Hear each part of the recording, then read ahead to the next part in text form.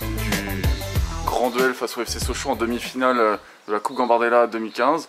À notre gauche, Johan de Moncy. Et à notre droite, Yakou Meïté. On va commencer par euh, Johan. Euh, déjà, avant de- de- d'en venir à, parler de Sochaux, il y a eu l'obstacle marseillais il, y a, quelques jours. Comment se remettons du- d'une telle victoire Déjà, est-ce qu'elle était attendue? Bah, notre victoire, non, sur papier, on n'était pas vraiment favori apparemment. Après, on a réussi à bien s'en sortir, on a bien commencé le match. Après, on a eu des difficultés et euh, le plus important, c'est la victoire. On a réussi à s'accrocher, même à 10 contre 11, et à obtenir la victoire. Est-ce que, le que contexte était si compliqué qu'on a bien voulu le dire euh, avant la rencontre? C'était compliqué euh, dans le sens où, ouais, on n'était pas à domicile, on jouait chez un rival. Mais bon, on a, on a fait abstraction de tout ça et on a réussi à s'en sortir.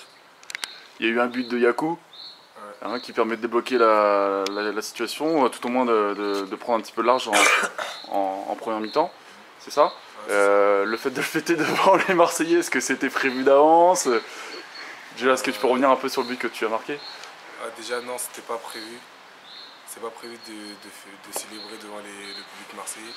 C'est venu instinctivement, c'était pas, euh, pas prévu. Surtout que Jacques-Kevin m'a dit que s'il marquait, il allait faire ça. Et c'est moi-même qui lui ai dit de- d'éviter de faire ça parce que peut-être qu'il aurait, qu'il aurait pris un jaune. Mais euh, je l'ai fait, mais c'était instinctif. C'est pas fait. C'est l'amour du maillot euh, qui a rejailli à ce moment-là Ouais. Donc, Sochaux maintenant, euh, qui est l'un des meilleurs centres de formation aussi, euh, tel, que le vôtre. Euh, Est-ce que la préparation est différente de de d'habitude euh, pour aborder cette demi-finale? Bah non, la seule chose qui change, c'est que euh, tous ceux qui sont concernés par la catégorie 19, on s'entraîne tous en U19. Sinon, rien qui change, on prépare un match comme un autre et, euh, et voilà, quoi, rien qui change, rien de spécial.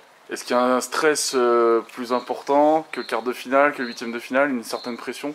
Euh, franchement, euh, depuis, depuis le début de semaine, il n'y a vraiment pas de, de pression. On n'a même pas l'impression que c'est une demi-finale. Je pense que l'adrénaline elle va monter à partir de ce week-end. Mais pour l'instant, on s'entraîne normalement. Comme Yohan l'a dit, c'est- pour nous, pour l'instant, c'est un match euh, normal. Puis je pense que la pression elle va commencer à monter petit à petit. Quelles seront les, les clés du match pour euh, franchir l'obstacle euh, socialien? Bah, les clés du match, pour moi, je pense que ça va être comme d'habitude, ça va être s'appuyer sur un bon collectif, une solidarité tous ensemble. Et, euh, et après, bah, on espère qu'on aura un peu de chance de notre côté parce qu'il faut aussi un peu de chance. Et après, bah, si tout le monde fait un gros match individuellement, il n'y a pas de raison qu'on ne gagne pas. Tu es l'un des cadres de, de ce groupe, très souvent capitaine Yaku. Euh, est-ce que c'est un groupe qui est, qui est entre guillemets facile à gérer? Tes coéquipiers, est-ce qu'ils sont simples à, Bah, écoutez, à euh, diriger J'ai envie de vous dire que tout le monde a envie de jouer ces- ces- ce genre de match-là. Ça veut dire ceux qui ne commencent pas le, le match, euh, c'est sûr qu'ils vont être déçus.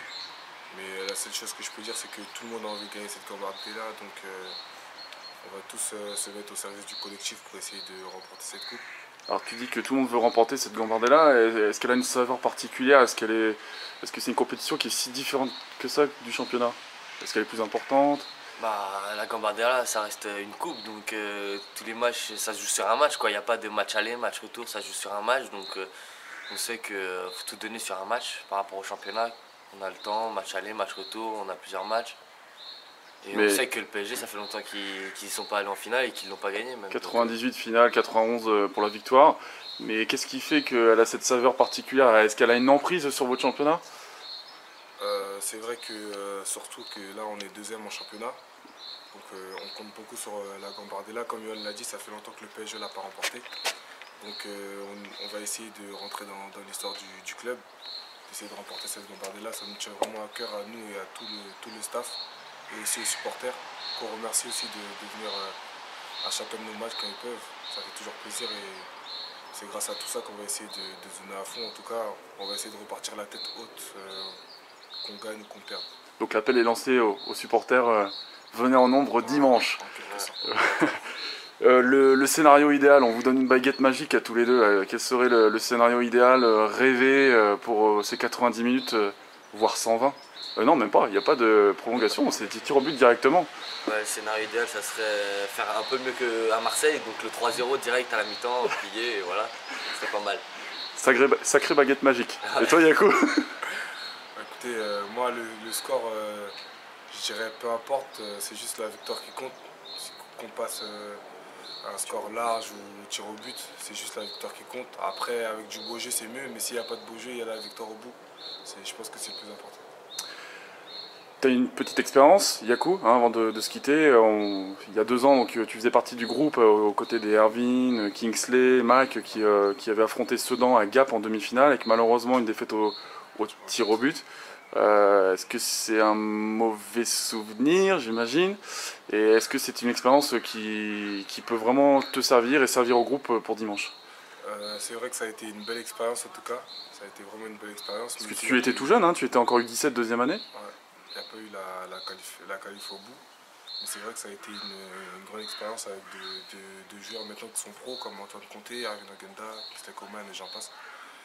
J'ai raté le penalty, donc euh, je pense que sur ça, euh, c'est un mauvais souvenir, mais c'est toujours de l'expérience euh, engrangée dans les grands matchs comme ça. Donc je pense que déjà, si on gagne ce week-end, ça sera une bonne revanche, on va dire, entre guillemets, pour moi. Et ouais, c'est quand même bien beau à vivre. Un match qui va être suivi, un match qui va être suivi de, Côte d'Ivoire par toute ta famille? Ouais, je pense que ça va être suivi de Côte d'Ivoire. Bon, je sais pas, sais pas si c'est toute la famille, mais la plupart qui me soutiennent en tout cas. Et toi, Johan, euh, depuis un petit moment maintenant, tu fréquentes l'équipe CFA. Est-ce que c'est facile, entre guillemets, d'avoir à revenir en U19 sans dénigrer euh, les U19 nationaux?